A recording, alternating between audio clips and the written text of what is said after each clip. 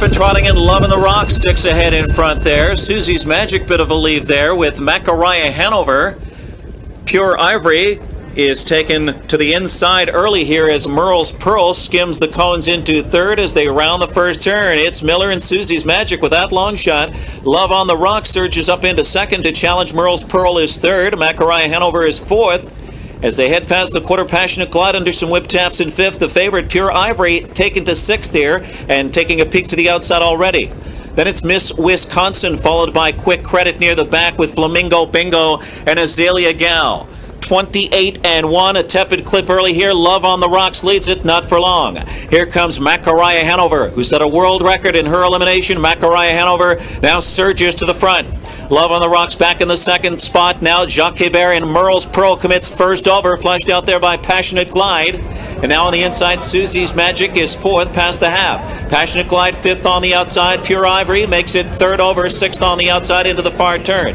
Then it's Miss Wisconsin on the rail, followed by Quick Credit, who's backed up here as Merle's Pearl is clogging the utter flow.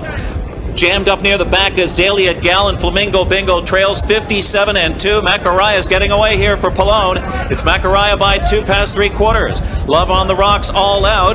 First over Merle's Pearl, still trying to gain. Passionate Glide looking three wide around here. And Pure Ivory looks to rally, has some work to do. Susie's Magic looks to shake loose. 126 and 4. It's a well rated Macariah Hanover looking to go all the way. She opens up by four, but on the outside, Passionate Glide is getting in gear. And Pierce now has Passionate Glide roaring up on the outside and pouncing on Macariah Hanover. And uh, Pure Ivory getting underway, but too late. It will be Passionate Glide and Ron Pierce and Jimmy Takter does it again here in the crowd with Passionate Glide. Macariah Hanover second. Pure Ivory was third, 155 and 4. And here she is, the second race winner, the Breeders' Crown final winner, Passionate Glide. Passionate Glide is a two-year-old bay filly by Yankee Glide out of Miss Marita by Joie de Fille. Bred and owned by Brittany Farms of Versailles, Kentucky. The homebred trained by trotting master Jimmy Takter and winning driver Hall of Famer Ron Pierce. Passionate Glide, a half-sister to Mr. Vic, a winner of over 318000 and Marita's Victory, over $666,000 the winner of the 2000 Hambletonian Oaks. Passionate Glide won the Goldsmith Maid Final at Woodbine. She had missed some time, but uh, trained well coming into uh, the Breeders' Crown this year. A very consistent Grand Circuit Stakes winner. Jimmy Takter, the trainer, finished 1-2 in this event last year with Flirt and Miss and Solvay. And that makes it four wins in this division for Jimmy Takter, who also won it with Armbro Prowess and Gleam.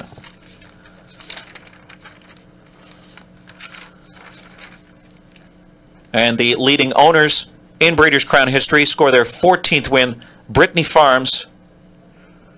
And as breeders, their 16th victory as breeders, and that puts them in the lead in that category as well. So certainly a happy group there. George Siegel and his colleagues from Brittany Farms. And Admir Zukanovic is the caretaker of Passionate Glide. Winning driver Ron Pierce. A couple of familiar faces in the Breeders' Crown Winner's Circle, Ron Pierce and Jimmy Takter. Ron, tell us a little bit about you, the fact that you just went past Mr. Bill O'Donnell in the all-time list here, and the, uh, the Breeders' Crown wins here with Passionate Glide. That must be a good feeling. Yeah, great feeling. I'm tickled to death. Tell us a little bit about Passionate Glide. What kind of trip did you work out tonight? It was um, when they drew the race. I seen right away that we were in for a very good trip, and it worked out just perfect. Uh, we come second up. I tipped her three deep at the head of the lane. She had plenty of trot. The uh, outer tier was backed up a little bit there, and um, do you think Macariah Hanover might have gotten away from the field? Um, well, I was. It look, kind of looked like it. They were going around last turn, but um, my filly, I could tell that she had a lot of get uh, left in the tank. So it was just a question of whenever I wanted to pull the trigger. What's the best Ron Pierce shot we had the rest of the night can, for coming back here? Uh, my little dragon next race, I guess, has a good good chance. Uh, Village Jolt, uh, if we could work out a trip from the 10 hole, maybe we could beat Rock and Roll and uh, American Ideal. I don't know. Okay, Ron Pierce, a frequent visitor in the winner's circle. So is Jimmy Takter. Jimmy Takter, a couple last year. Flirt and Miss, Ken Workington, Moni Maker, Malabar Man. The list goes on and on. Passionate Glide. This is a little bit of a surprise to you? Eh, not really. I, I, she raced very good up in Canada when she won the Goldsmith Maid, and uh, she had, we decided not to race her in the matron, so she had a four weeks uh, break between uh, the elimination and uh, and uh, and the Goldsmith Maid. So uh, she trotted 55 and four. It was cold night, and from a filly that haven't raced for four weeks, I thought she raced tremendous. I asked you last week about Yankee Glide. You said the best trotting sire? Is it, you have a few of those, right? Well, for me, uh, I've been very fortunate uh, to have a lot of good ones out of him, and uh, they're nice to work with, and I, I, I really like them. A lot of uh, two-year-old fillies last seven, eight years getting started later in the year. All her starts in the last couple of months. Is that a trend we're seeing in harness racing? Well, you know, we, this filly we, we thought very high of from beginning, and uh, we elected not to race her any races here in Medlands, so we pointed her out west a little bit and uh, went, went to Canada.